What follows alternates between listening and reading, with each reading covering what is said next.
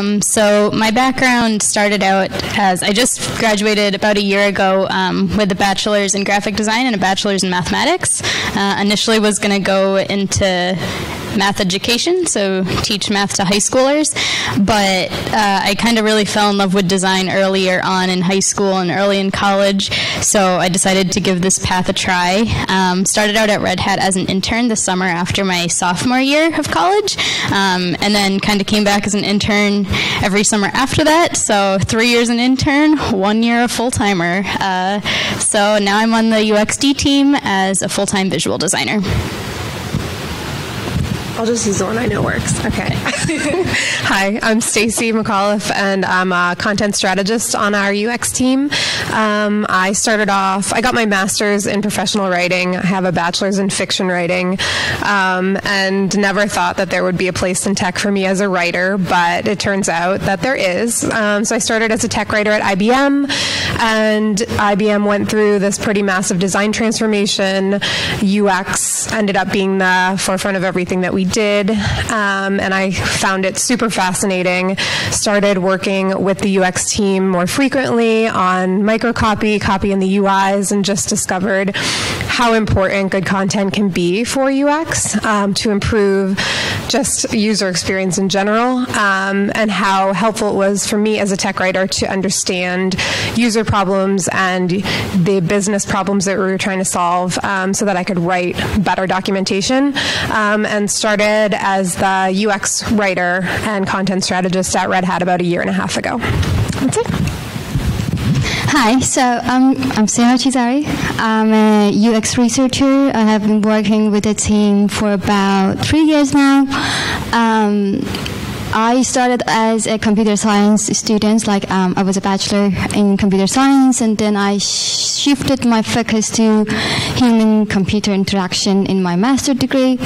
Um, then I started working as an instructional designer, uh, where um, where I was um, supposed to design like course materials for students that I had no idea who they are and if this material is going to work for them. So that was the kind of inspiration for me to switch to user experience research, where um, I wanted to learn about the users and how things we design is going to work for them and how they perceive it. So that's why I started doing my PhD in human computer interaction and information science, and I took my PhD and I became a researcher. Um, the PhD took me about five years years, and it's been about three years that I've been working as a UX researcher with the team. That's about me. Um, so yeah, I just wanted to give a brief, oops, brief information about our team. Uh, Red Hat UXD team right now is about 106 people. Um, and I joined in 2014, and at that point we had 18 people. So it's been a huge change over the last uh, five years. And it's interesting that our group is actually 50-50 men and versus women. So it's pretty, it's a pretty cool place to be. Um, we have some pre like listed questions that I, we're going to ask first, and then we'll open it up to the audience if people have any other questions. So I'm going to start with what does it take to be perceived as open source UX? And I'm going to ask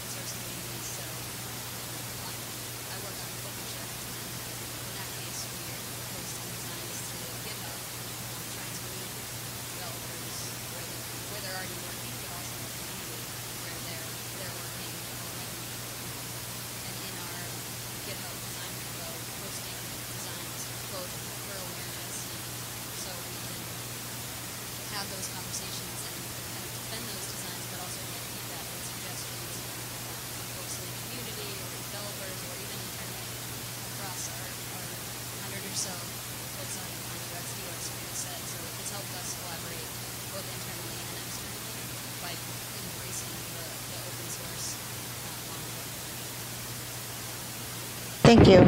The next question is about um, how have you contributed to an open source project? So I'm not sure how much of you guys know about Red Hat, but we have a, an open source design system which is Patternfly, which all of our group is actually always in, um, included in. So that's one aspect of open source. But I'm wondering if Gina could start by answering that. Sure. Um,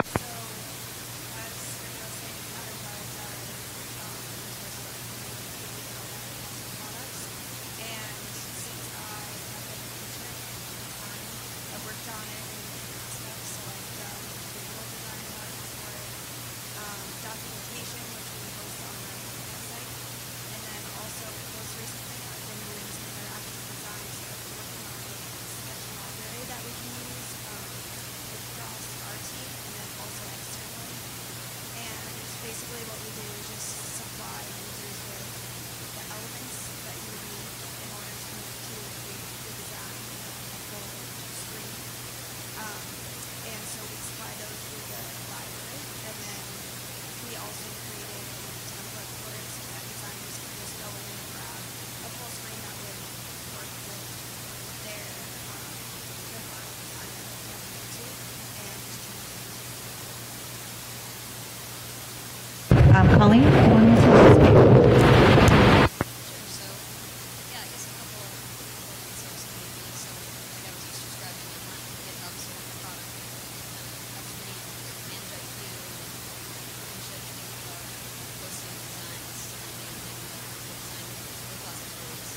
But we also, what Jim said, have, have our Patternfly uh, design process where we're also posting design guidelines and uh, have been involved in some of the documentation and design efforts on the Patternfly side as well. So document detailed design of how patterns, how the interactions should work, and then uh, following through on the documentation side of how or when a user might uh, or designer might use these patterns to actually implement them in certain scenarios.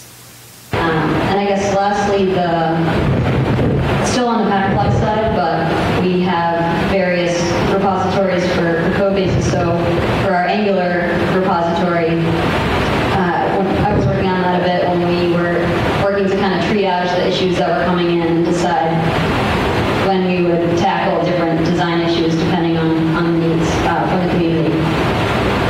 Great, thanks. And Sara Chizari, you want to talk about um, research? Um, so a little bit about research. So what I um, only do at Red Hat or any other jobs that I got as a researcher is just to get feedback or collect feedback from users. So in the context of open uh, open source, um, things are a bit different than other contexts. So there are two, uh, maybe three major projects that I've worked on so far, open source ones. Uh, one is the Patternfly one that um, that. Um, Gina and Coleen mentioned. Um, for Patternfly, I, what I do is basically um, try to see what community says. So, and the difference between open source and other companies is that as a researcher, you gotta, um, like the research request mainly comes from the product manager or the designer. They first come to you and say, okay, I have these questions and I want to know the answers.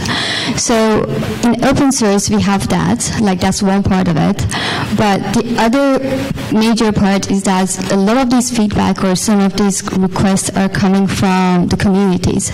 So the community of designers or developers, specifically for Patternfly, they they adopt Patternfly in their own way. They use it in their own way, and they, as users, they come to us and say, okay, we used it, and these are the issues that we found. So can you guys um, like you know dig more into it and see what we can do about it.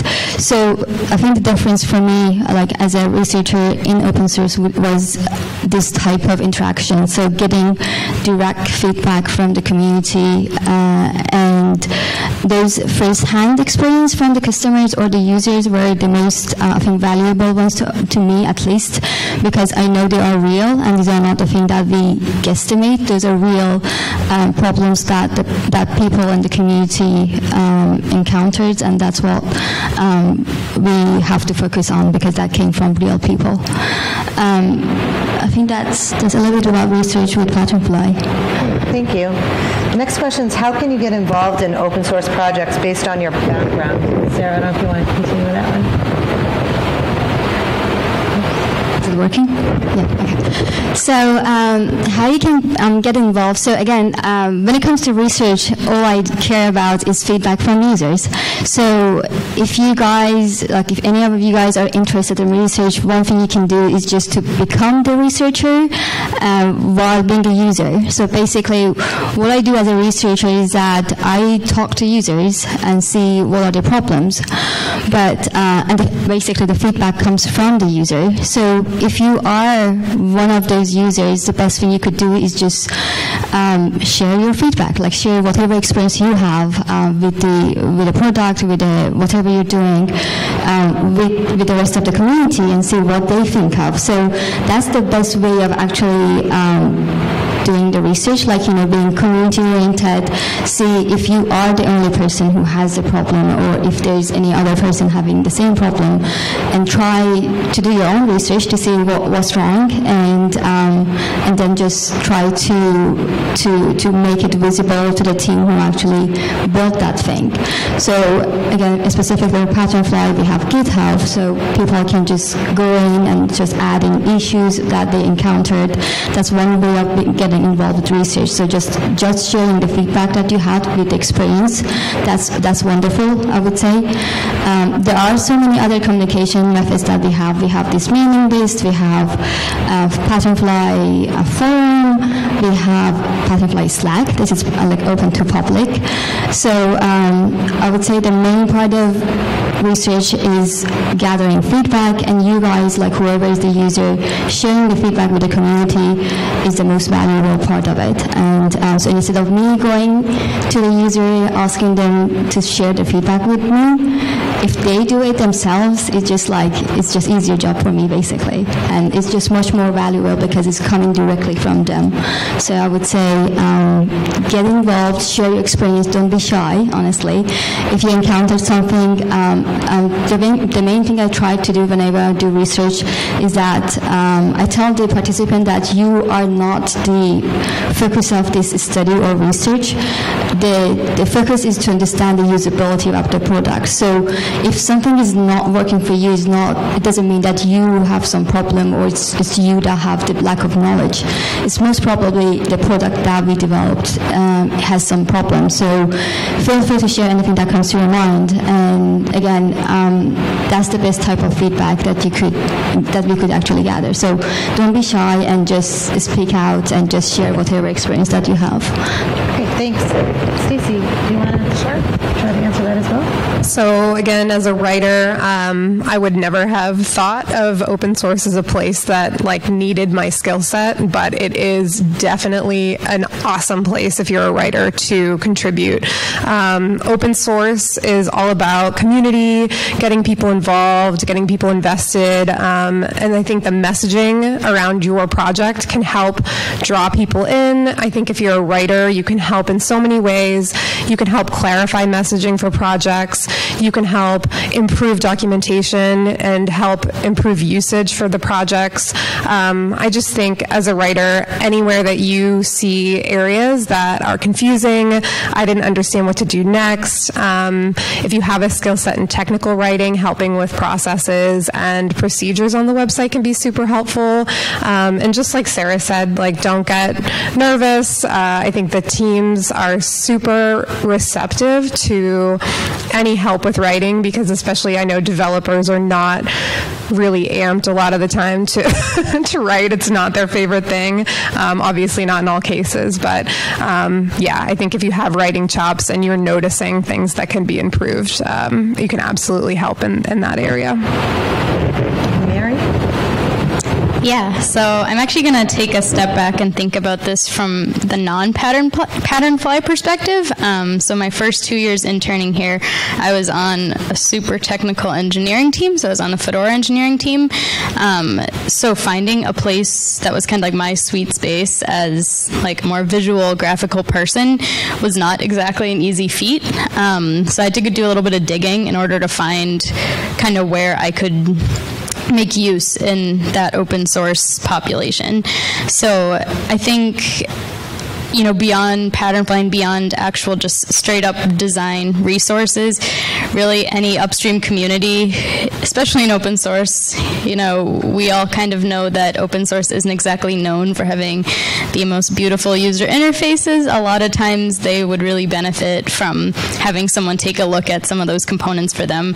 Um, so, you know, whether it's upstreams that are, you know, specific to an app, so everything that Red Hat does, it starts out as, you know, an open source project first. So all of us work within those groups, but uh, even you know Fedora was an open source operating system, but in order to be that, it needed to gain speed, and they had marketing events. So they had an entire design team that was pretty much all international, um, and gave a really good opportunity to kind of communicate with people who I wouldn't normally get design feedback from, and that's a really unusual place to find design opportunities, I think, when you actually look deep into the tech and realize that sometimes they have a need that they don't always uh, advertise as well. So there is, you know, this marketing need, this need for helping them build out their brand. Um, so from a graphics perspective, that was a cool space for me to find. Um, and like everyone said, a lot of these upstream communities, uh, because they're always looking for more contributors, they have a lot of ways to get in touch with them. I think sometimes finding out how to get in touch with, you know, the groups that you want to do design work for, content writing for, can be a really hard first step. But, you know, if you just go right to the root, even if it's just fedoraproject.org, you know, you can see they have all these ways to get in contact. And chances are, if you just contact someone, whoever's on the receiving side of that mailing list, or, uh, you know, just on the receiving side of something, even a tweet, there's probably someone out there who could send you this big chain of go talk to this person who knows this person who might somehow know a design person. You'll get there and you'll learn and meet some really cool people along the way. Great, thanks. The next question is how does communication and open source differ? So Gina, do you want to start with that one?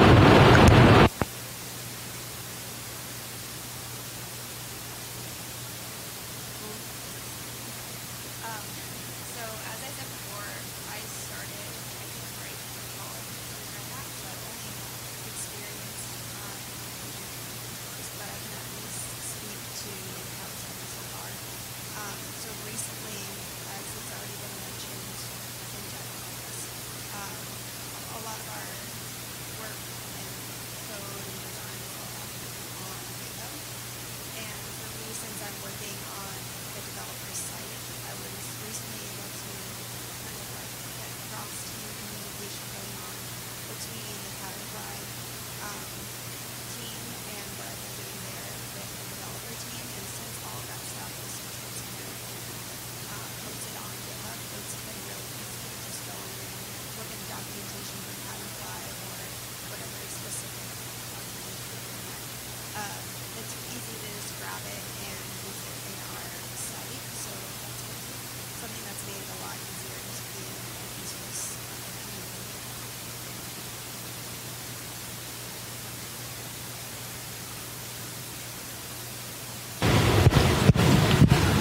Hey, you're okay. All right, I guess. Okay. All right, I'm gonna go now.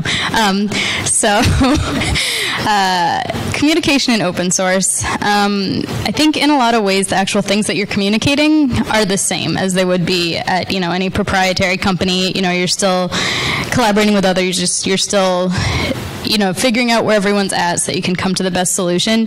But I think how that collaboration, communication works and how open the pipelines are are a little bit different in open source. Um, so we always joke about uh, memo list and how rare it is at an open source company for people to kind of not have to gauge what they say as much and you know you can kind of say things and you know voice opinions that you otherwise might be a little bit more uh, censored to say before. So i think you get much more like raw information and raw thoughts from people which at first can be jarring but you end up res- you end up getting a stronger result because you have true like you know valid opinions from people not ones where people you know were tiptoeing around th- what they actually thought um, and i think also with open source not being you know this confined here's the only people that i talk to in open source we have the ability to communicate with everyone so you get the perspectives of people that you normally wouldn't get. Um, and both within the UX team and the previous team I was on, you know, a lot of the populations of people were not had a culture really, really differently than mine. So I think even that cultural piece is really interesting to think about with the communication. Um, even how people communicate based on their culture is different. Um, the amount of like directness versus indirect communication was interesting to see, and I think just a good skill to learn, which I think um, you know, is a result of the open source culture overall. Like, I don't think I would have been able to effectively communicate with people who communicated differently than me if it wasn't for open source, kind of forcing me to look a little bit deeper and ask really concise questions and ask people questions that may have seemed kind of stupid um, to them, but it I think proved helpful in actually getting to the root of things. So I think that having no limit to who and where and how you're communicating with people is a big differentiating factor between open source and non-open source uh, workplaces. Stacy, did you have anything else to? So I, I'm going to take a little bit of a different approach to answering the question. And one of the things that I do for Patternfly is help with uh, communicating with the community. So blogging, um, and I've found compared to some of the proprietary companies that I've worked for, communications for an open source project, it's so much more important to communicate rationale, communicate decision making, communicate everything that you're doing in a way that supports open collaboration and feedback from the community. Um, and then also really being sensitive to the fact that you have this community of folks who are super invested in what you've been doing. And there are going to be times where not everybody agrees with decisions that have been made. So um, I think blogging has been very interesting. And then also the messaging on our website, um, just again, being super sensitive to the fact that it's a community. We want people involved. We want feedback. We want everybody to have their hands in it and have accountability and be invested in it. Um, and I think it just does impact all the messaging and other ways that we talk about everything that we, we put into the into the universe, into the community. Thanks. And, Sarah, can you articulate the differences between working in open source and non-open source? It seems like your previous job was much different than Red Hat.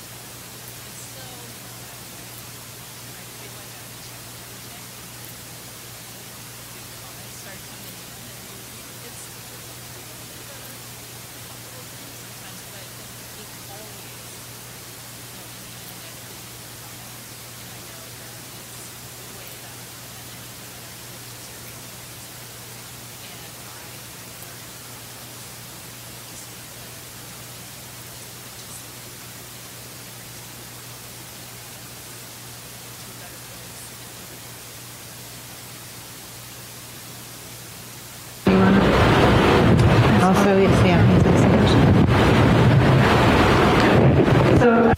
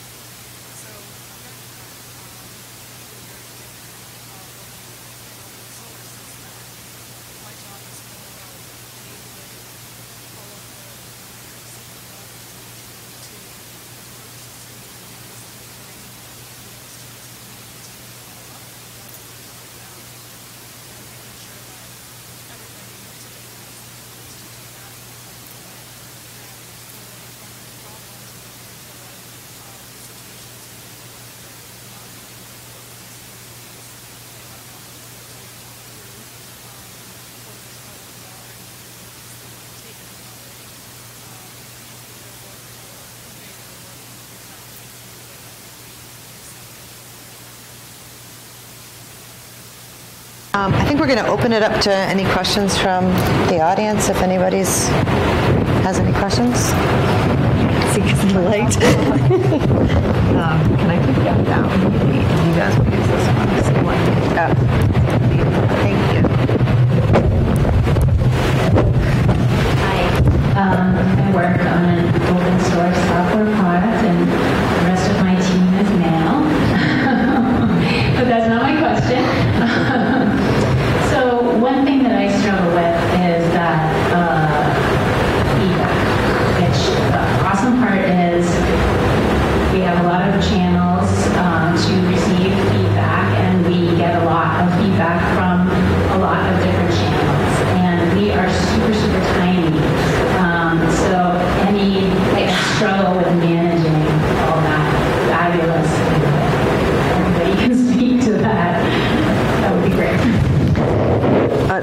Can start, I think. So one of the things I was going to say is trying to evaluate the feedback, and I'm assuming that Sarah will be able to speak, speak to this better than me, but um, like literally like finding the trends between what you have and then trying to prioritize from that. Is that, do you want to expand on that? So, so um, what we usually do is just to do research based on the feedback we got. So it, it's not like uh, we take all the feedback and we act on every single of them. So usually we take in the feedback and um, we try to go back to the rest of the community and the rest of the users and see what's the prevalence there. So it's not just like, um, and it's not it's not going to be feasible. Honestly, you can't actually act on every single feedback that you get from the community. The best I would recommend is just to do your own research on the feedback you got. Not, doesn't mean that that feedback is not usable, or is not good. It just um, for the sake of uh, prioritization and just making sure that you are on track and the strategy you're taking uh, makes sense to uh, everyone on the team, on the product team, and also the community. It's best to do your own research based on like using the feedback you got. So usually what we do, um, any feedback that comes from the community. Um, um, whoever received it, they share it with me, and um, I try to go and just write a test plan based on the feedback we got to see, like basically to address the exact question or the problem that the user brought up, and then we're going to look at, yeah, what was the what's, what's the prevalence really out there? Like, yeah, this group of people thought it's this is a problem, but is that a problem for the rest of the community or the rest of the users? So, um, and there are lots of ways you can do it. It's not just like um, so the feedback you get might be just a small piece of yeah text or qualitative feedback, but you can take that feedback and put it in different contexts, in different uh, using different methods. You can either continue talking to other users in the community. You can put that question or like um, like frame that question into a survey and send it to a much larger population. Um, there's so many different things that you, so many different methods that you can try just to um, to understand what's the prevalence mainly and how how how important that issue is. Um, just a bit of commercial. If you guys are interested to know what type of research we do, what are the methods that you can try, definitely come check out our booth um, in the exhibition hall. There are at least like seven or eight research activities going on there, so it's a really great way to just um, get some exposure to what type of research I'm talking about. Um, a lot of there's going to be a lot of engagement, a lot of um, conversation between the researcher and the user, and again, a great I think um, experience just to see how we do research in open source. But yeah, my, I would say my only recommendation would be just do another round of research based on the feedback you got and just see what's the frequency or what's, what, how, how important that issue is. Yeah, I think it's also interesting because open source has so many people that are so passionate that if you even just hold one usability study with one customer, it's like you could almost be convinced by what they're saying to you because they're so passionate, but like making sure that all gets put into perspective is really important. Does anybody else want to answer? Thank you. Any other questions?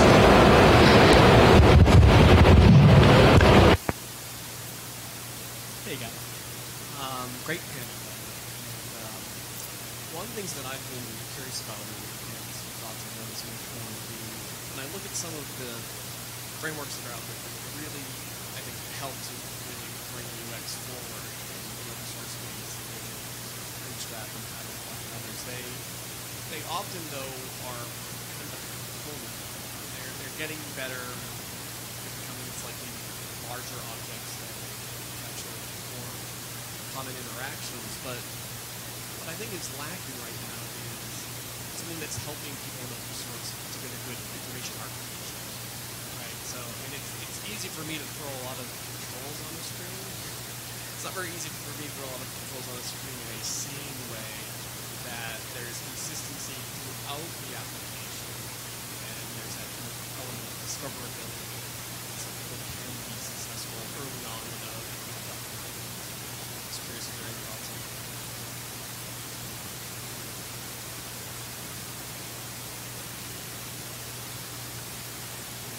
specifically to information architecture, but I know, so what we've tried to do in PatternFly with PatternFly 4 is recraft our design documentation so that we're not only putting components out there, but we're creating documentation that helps you understand what patterns you should use, where, and why you might use them. So, why would I use like a list versus a table? Why would I use this chart versus that chart? Um, so, kind of helping designers and developers have more of an understanding of the rationale behind why you would choose a specific design pattern over another.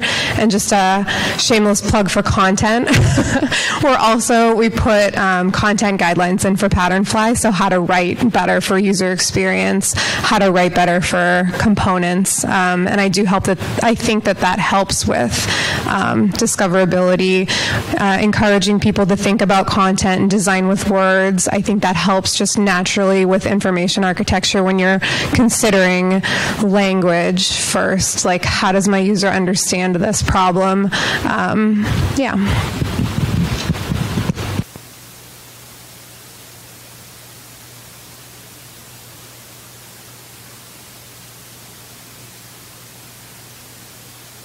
You hear me? Yep. Yep.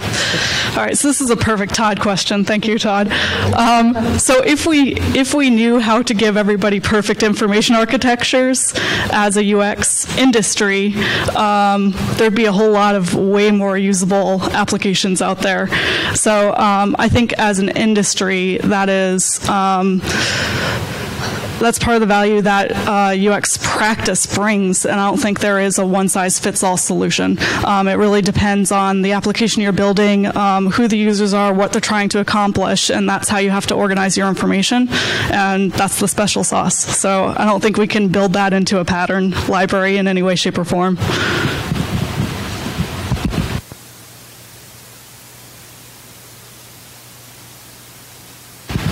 Yeah, I was just going to say, I, I, similarly, I think we've tried to tackle it a little bit from the UX perspective, but at the at the product level, almost to try to do not as much a one size fits all, but provide some type of conventions that that almost sit on top of the the design library. So you you know you have a PatternFly where it's at the component level and you're using these standards. So look and feel, you know, it's it's the same across products, but you also have something that sits on top of that design system where you have conventions that are really specific to a product, and we're trying to really do a better job of documenting those conventions at the product level to say, uh, here's the cases where we use a modal versus a in page form, or here's when we use a, a wizard um, versus a progressive form type of thing. Here's what our toolbars look like in this product for these views. So kind of getting more specific, uh, not to say that these those other views aren't great, maybe for another product, but uh, I think providing some type of documentation, especially in the open source community, uh, kind of your, your conventions to explain to help somebody who's trying to contribute stay within that framework. I think you do have to, yeah, document some of that um, and pro- provide those guidelines. But yeah, it's it's hard with just a component. I, I agree. Yeah, and I was just going to say, it's also, I think industry is changing so quickly. Like a lot of times, we're just trying to get products out to market and make it usable. So, at, you know, at some level, we have to make a best guess at the beginning to get something out to market quickly. There's other areas of the product where we might be able to spend more time and we have more ability to create a better end-to-end experience, but it, it's not always like that, right? Okay, so I'm a researcher, so obviously um, my answer to any question is just to do research. So, um, but honestly, in this context, this is a really good question because, um, so yeah, there are a lot of frameworks out there, a lot of, um, say, like heuristics or a lot of um, say you know best practices and design guidelines out there. And a lot of things that we introduce in pattern are based on those um, but my recommendation would be yes those are the things that we thought will work for many people or for many users but they're not tested in multiple different contexts so honestly what you need to do is just yeah as, as soon as you adopted this framework you will need to do your own research to see so you're in your own context. Does that does that make sense? So um, yeah, my recommendation would be just again just do research um, because not, we can't actually test this component in every possible context that would exist out there. This is not possible, and um, an in context experience could be really different than out of context experience for sure. So um, all of these recommendations are mostly out of context recommendations. So definitely do research um, in context to see if these things that we recommended worked in your context and get back to us. And if it doesn't work, let us know, and that would be really nice feedback for us too. I think we can take one. Can we take one more? I can't see now. Is that a zero? I think that's a zero. Okay. Well, thanks everybody for attending. If you guys want to talk to us, most of us are going to be in the UXD booth uh, throughout Saturday, so feel free to drop by and, and check us out. Check out the group. Thanks very much.